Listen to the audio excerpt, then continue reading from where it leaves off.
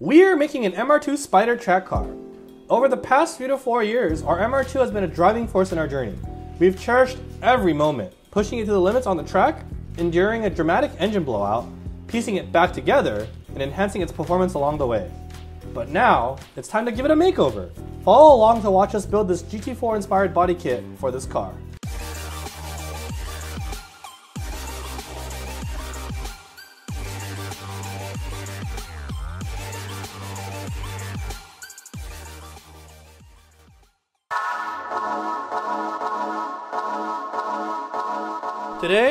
Going to go over how we designed and installed the wing, side skirt, hood duct, rear spats, diffuser, and the front bumper. Here's how the car looks currently. We're gonna start with the wing. Let's go! So here, I'm gonna talk a little bit about the design process of this. We have a video game model here of our MR2 Spyder, and unfortunately this was designed a while ago, so we don't have kind of the process of the iterations and all that, but this is what the car looks like in a video game form. We locked it down with uh, the design team, and this is ultimately what it ended up with. We have a wonderful looking front bumper, single vent opening with built-in canards. We have this flying buttress design that I really like. Um, this is an old version of it where we tried to get it to clear the the trunk and the, the deck. We were trying to get that that rear vent lined up in there. But ultimately, I decided this was just too gaudy and, and didn't look that great. So another cool thing I wanted to point out is we are going to try to make this hardtop a T-top. But more info on that later since that's not a project that we finished in this particular episode. So now, going into the final design, this is kind of what we decided on. This is the actual final design of the MR2. Um, you can see this is actually scan data, but we did uh, ultimately do a similar flying buttress, but we did have it go over the trunk. So it used to be here, now it's here. We have the wing, the duck bill, the Epsilon diffuser, the rear spats, the front bumper, we have the eyelid, the hood vents, and all that. Uh, I would love to do another video on just design elements, but for now, this was designed quite a while ago. So unfortunately, uh, we never really recorded that process, but I'd, I'd love to go into this in another episode. But for now, this is what the car looks like. And let's go from butt to front as far as getting this installed on the car. So we're figuring out where on the trunk we need to cut using our terrible tool measurements because I don't have the scans, I don't want to align it. Um, but yeah, we got to slot the trunk near the tail light. Yeah, basically we're going to cut to right about this line right here. So we're going to go ahead and mount these in first so we can figure out where we want to mount it. And then we need to cut to like right about here. So he's already gone ahead and taped it. I got some paint pens and we're gonna start mounting this wing. It's a true chassis mount wing, but the irony here is that it's not a very big wing, so it doesn't really need to be chassis mounted. This one, yeah, it doesn't really need it. It's not. Right? Yeah, don't worry about it. There's already uh, rivets that are. I'm more worried about the riv nuts holding it in. I mean, worst case scenario, we have access to the nut in the back, so it's not too bad. But yeah, it's careful. Brian got it on. It looks good. It's small for sure. But what do you think? I think it looks good. It fits the car. Fits the car. Yeah, exactly. Small car.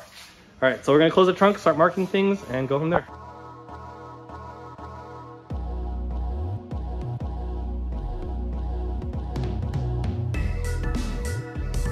So we marked what we need to cut. We're gonna pull the trunk off because it's easier to cut it off. Put the trunk off, and I, I, yeah, and we're gonna cut it. Sick. All right, let's go ahead and cut this. Let's get it out here. Cool, thank you, Andy. Fire in the hole! what happened? I didn't even hit the start, I just nicked it. I'm a fucking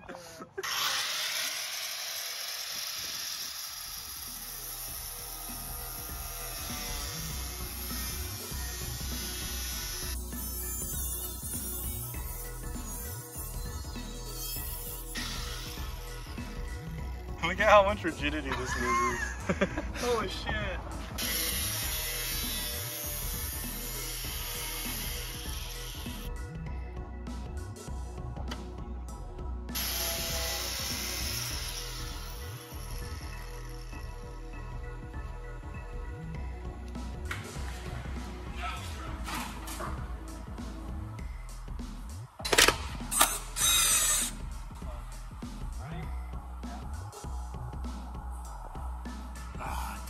So we're prepping the uh, the hood vents now. I don't know if we're gonna do them today, but uh, this one's got the stuff removed, and I'm in the process of taking the support material off this one. And look, it's, it's coming off as one nice large piece. It's great. I love it. Look at that. Damn. Nice. Oh yeah. Look at that. Oh yeah. Sometimes I know what I'm doing.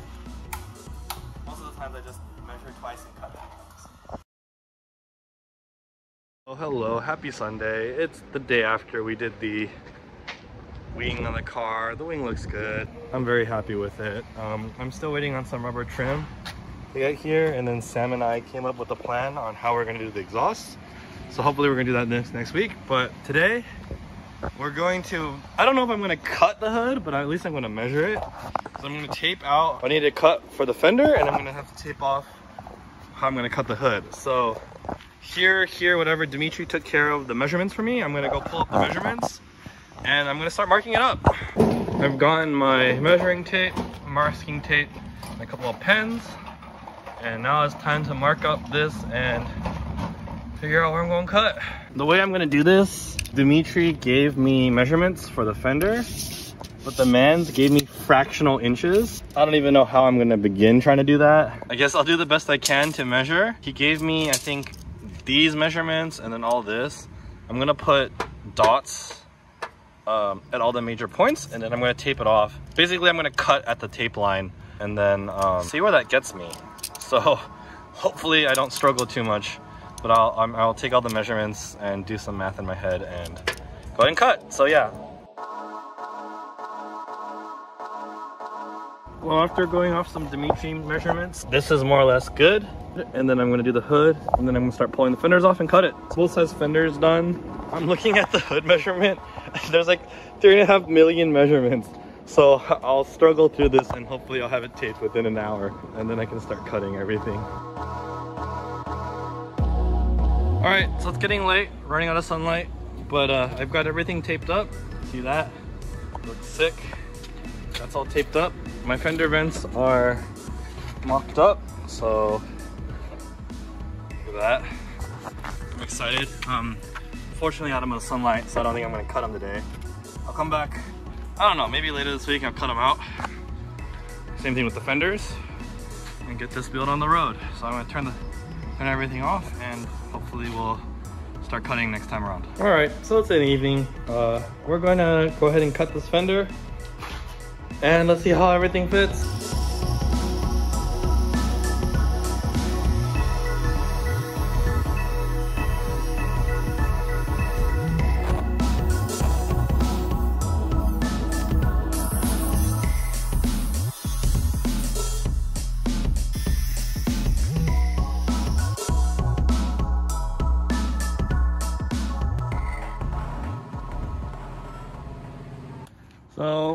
Back on. I'm gonna do a quick body line check.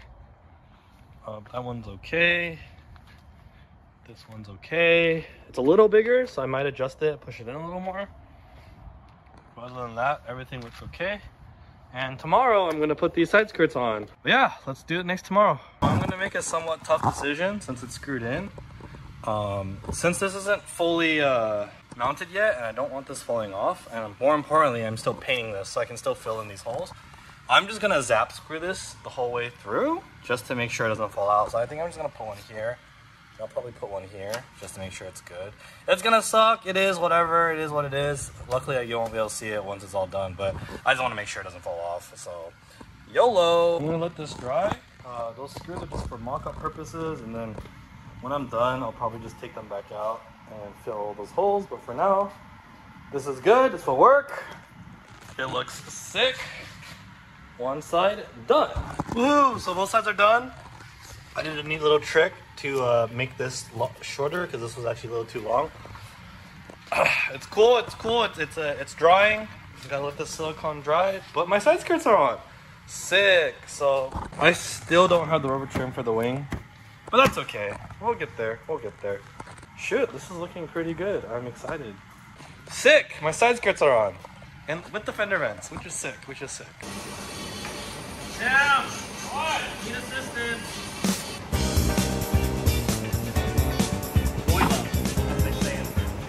So another thing I gotta do is this will hit my my vent.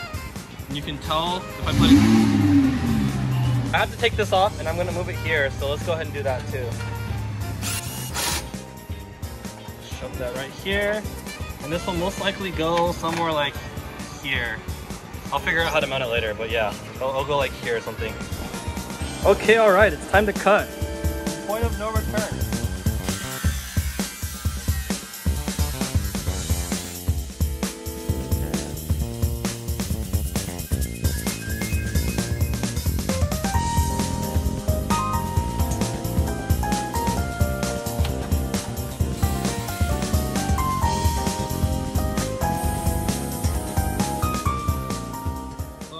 Cut it, and let's see if it fits. Oh yeah. Oh yeah, that fits. That looks good. Let's see. Do it like that. Hell yeah. Alright, that's one down. I know it fits, so let's go ahead and do the other one. So I've got it cut out, mock this one in. It looks good. I- I'm gonna need to take the tape off so I can do some final measurements to make this as symmetrical as possible. But let's throw this back on the car and make sure it fits. So with the help of Sam, we're gonna go ahead and put this on and see how much clearance we have with the power steering reservoir.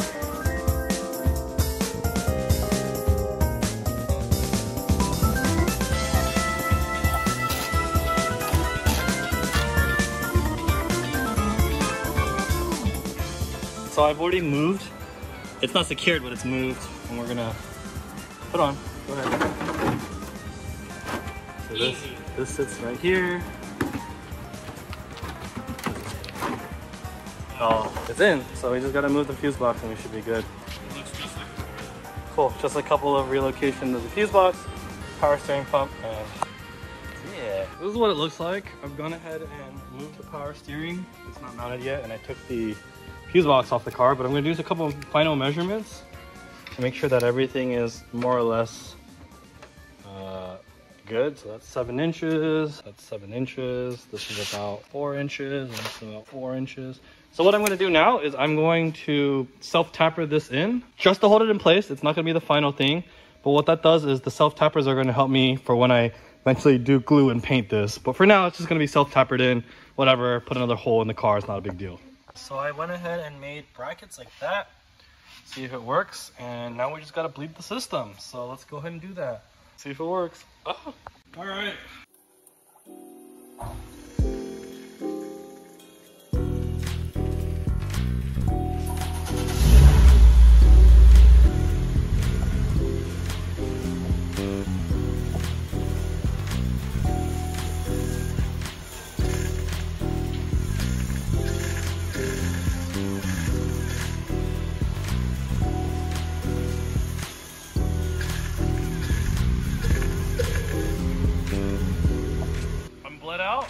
Works. I don't think that very much fluid came out of it to begin with, but it seems fine. I don't feel any air bubbles. Let's close the hood and see how it looks. I gotta clean everything up. We're obviously still in mock-up phase. Close the hood. Nice. So, I mean, it looks way out of place without the bumper in. But, it vents. So now we just gotta do some ducting. And it's good. Results. I got that. I got the fender cutouts. I got the wing. Got the rear duck bill. So I think tomorrow we're gonna take this car to an exhaust shop, pull the bumper off, do the exhaust so I can finally put the diffuser and the spats on. It's late. I'm going to clean up, wash up, and go home. But yeah, it looks it looks sick. It looks sick. It looks sick. So, today, next day, we got the exhaust welded up, moved up. We got a new pipe put on. So we're gonna go ahead and install the diffuser in the rear spats. Um, in order to do that, these are the brackets to hold the diffuser in. The hardware is right there, and then we got the spats. The spats, I'm excited for because the spats actually go on like this. So I think it's gonna look really cool when everything's together. I need to put some screws in, but other than that, um, yeah, let's go ahead and put the diffuser on. So I just adhesive promoted the spats and see what they look like. I'm gonna have to take the wheels off to do this when I install them, but that's fine. go right here. That line is right in the body line. Oh yeah. All right, let me just put some tape on it, pull these wheels off, get them mounted.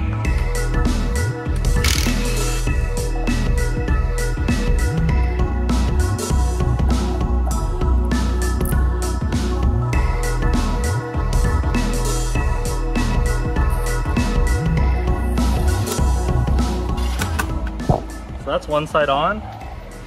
Snap screws, double-sided tape, and the other side. Wow, pretty good.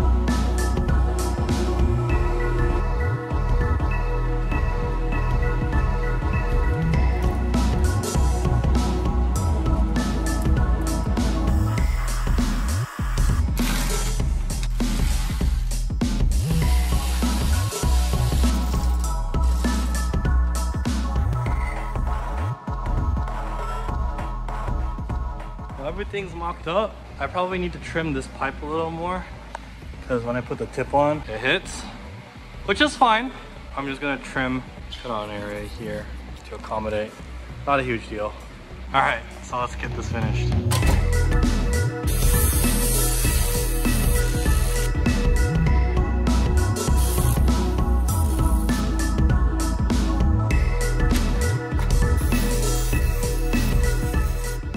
It's done.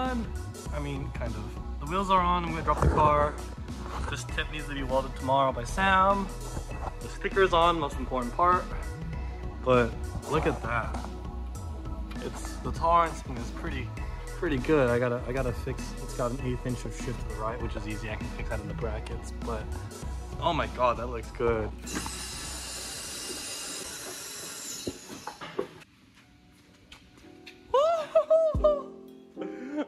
Oh, that's low. That looks good. Oh my god, that looks really good. Oh, I'm stoked. That came out great. Uh, all that means we got left is the hard top and the front bumper. The front bumper is printing right now. Let me show you guys. Yep, the front bumper is the last big piece before we start the hard top. I can't wait to put that back on and complete the look. Um, that concludes, I guess, this portion. Next up, we're just gonna put the front bumper back on, and then we're gonna take the soft top and start doing the roof, which is gonna be the hard part. I'm excited about that one. Yeah, next episode, whatever, cut, whatever, same episode, who knows? So it's Saturday. The MR2 bumper is done printing. Yeah, look at that. So we got another bumper. I got the beginning, middle, and the end. Got the beginning, the, middle, and the end.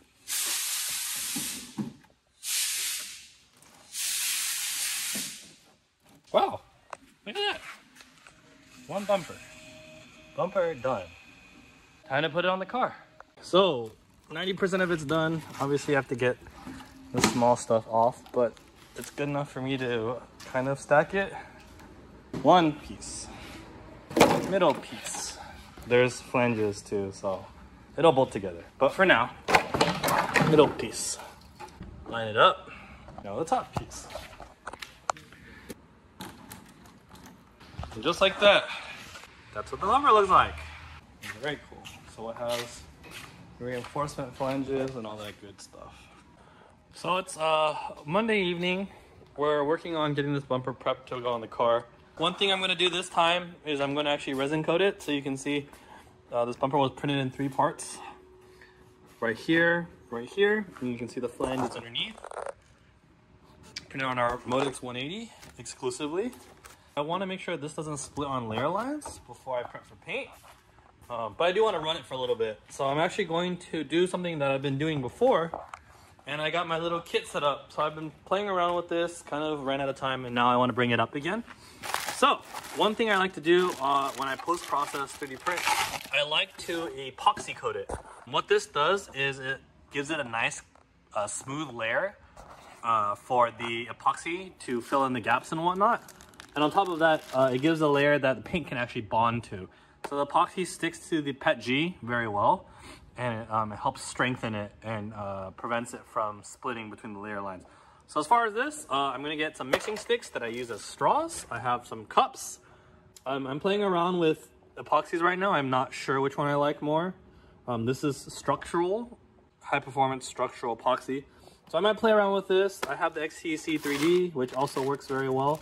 Um, I think they're about the same price. I haven't decided which one I like yet. And I have some standard brushes and I have some silicone brushes. So this is my first time in a long time experimenting with this. I'm gonna throw this on a tripod and let's see if there's anything new I learned. Uh, I do this in a cool environment so I get a little bit more working time. Throw on a pair of gloves. 120 milliliters right there.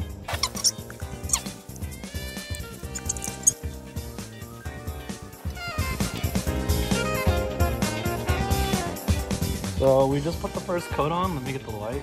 Currently, we're just gonna let it slow drip while it cures. And any weird imperfections, we're gonna sand later. So I may do one or two passes on this. We'll see. But this is for strength and ease of sanding. So you can see it's glossy. But I am going to need to sand areas because there's, you know. So I'm gonna sand it. That's fine. Expected behavior. In about an hour, I'll come back and redo one more layer. Cool.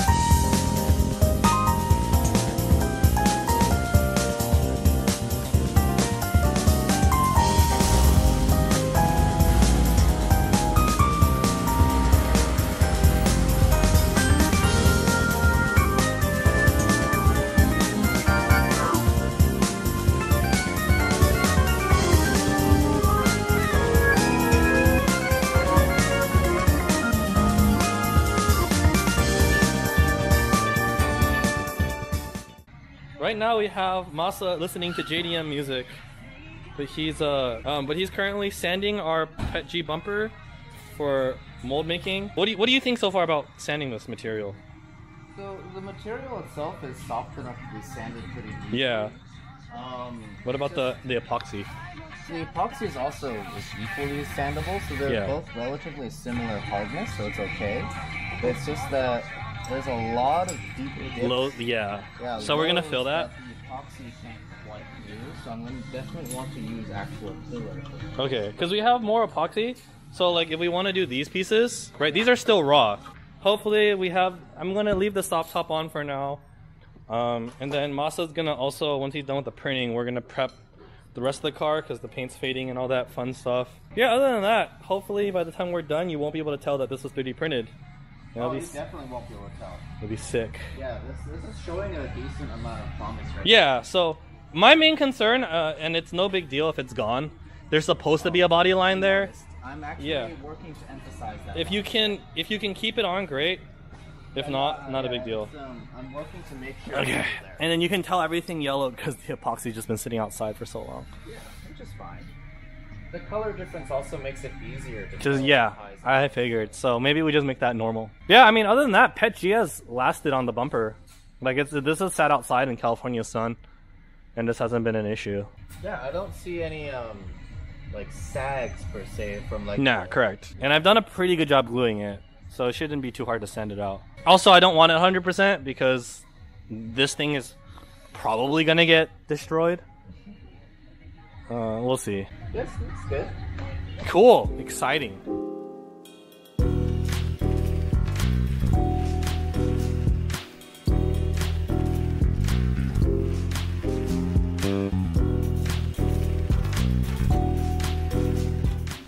After Masa worked his magic, you can see how our renders compare to our actual 3D printed prototype. Now it's just a matter of driving the car down to Southern California to hand off to RJ, our buddy at Big Duck Club, who also did our Subaru bumpers a few videos ago. Now, let me leave it to RJ, who has shot this short message for you guys after taking possession of our car. Hey guys, how you doing? RJ over here enjoying this beautiful California winter time. But more than the beautiful winter, I'm excited about this little thing over here.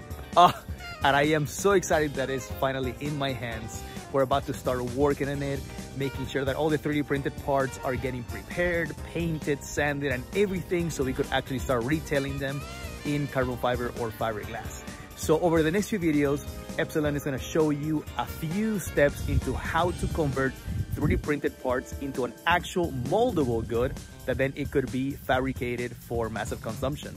So anyway, follow us. Make sure that you're keeping up in this particular build. It is absolutely crazy. Everything that the guys have developed is out of this world and I am just so excited to put my hands on it, make sure that it's an actual thing and you guys could buy it in the next few months.